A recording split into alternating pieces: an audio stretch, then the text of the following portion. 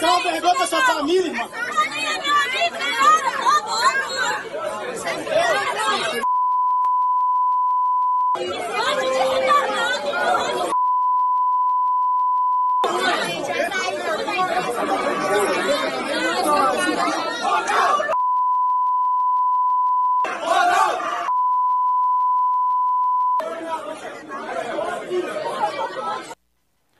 Eu nunca vi um pito tão longo, né? Porque o xingamento tava, né? É Aí Ronaldo vai uma- tomar. Gente, o que, que aconteceu É, foi, isso? o que aconteceu foi que o Ronaldo estava saindo junto com alguns integrantes ali do staff dele. E aí os seguranças resolveram ampliar ali, porque normalmente fazem um corredor para ele ir pro, pro elevador. Eles aumentaram um pouquinho o cordão de isolamento. Uhum. Tem que aumentar, e- que ele tá É, cheinho, ele tá mais, tá mais, ocupando um pouco mais de espaço. Como e diz aí o acabou Dadá, que... com uma linda bochecha. né?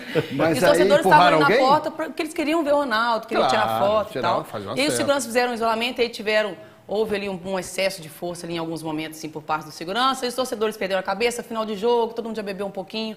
E aí houve um exagero de ambas as partes, aí acaba sobrando pro Ronaldo. É. Mas é, não teve. Não teve responsabilidade direta dele naquilo ali. Galera, E a gente já- entende ele, o nervosismo do torcedor, mas não foi culpa É, dele. Ô, o ô, Cruzeiro já Cruzeirense. subiu, já pra que Não, esse eu, tô- eu acho que vocês estão certos. Tem que xingar o Ronaldo mesmo. Irritar até ele ir embora. Ele é você que está vingativo. xingando. Você está certo, você está no seu direito. Ronaldo tem que ir embora. Gente, não vamos não ouvir tá fazendo nada americano no Cruzeiro. falando, E não ele é não- vingativo, hein? É. Isso aqui é igual, é igual a mulher que quer que o marido separa pra Ah. ficar com ele, aí ela fica fazendo a cabeça da mulher. É isso aí, ó. Não Deixa separa, isso barato não, Ronaldo. gente, Se ó. vinga desse povo que te xingou. É. Pessoal, não, foi um fato isolado, nada demais. Certíssimos. Certíssimos. acabou. tem que Estão querendo, querendo Não, desestabilizar tô a querendo SAF? estabilizar, Aninha? nada vai estabilizar a SAF, nem a SAF, nem a torcida, estamos em love, nada vai mudar isso E, não.